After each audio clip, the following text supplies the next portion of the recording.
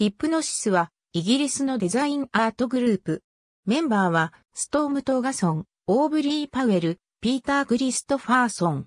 1970年代を中心にピンク・フロイド、ジェネシス、レッド・ツェッペリンら数々のアーティストのカバーアートを創作。音楽界においてアルバムジャケットに芸術性を持たせた草分け的存在であった。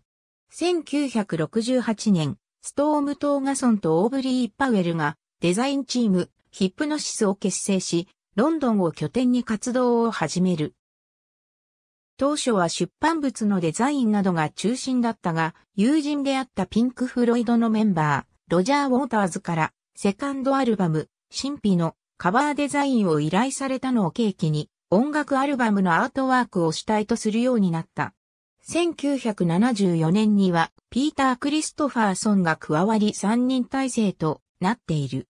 1970年代に活動の最盛期を迎えるが、1980年代からミュージックビデオなどの映像分野が顕著になり、それに対応した映像会社グリーンバックフィルムズを設立するため、1983年にチームは解散する。しかし、後発の企業だったのも影響して軌道に乗れず、会社は倒産した。レコードジャケットを芸術作品としての表現の域にまで高めた先駆者。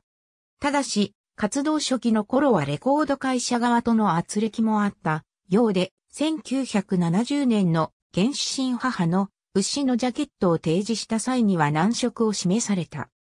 特にアルバムタイトルもアーティスト名も表記されていないことに反対の声が上がったが、結果的に全英1位を記録したことで、その後の仕事がやりやすくなったという。イマジネーションに溢れた創造的な作風が特徴で、現実なのか非現実なのかわからないようなジャケットも多い。見る者に考えさせるということも一つのコンセプトであるという。また、矛盾や対比といった二面性も主要なテーマになっている。